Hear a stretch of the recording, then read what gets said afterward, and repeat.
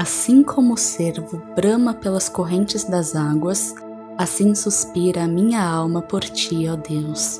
A minha alma tem sede de Deus, do Deus vivo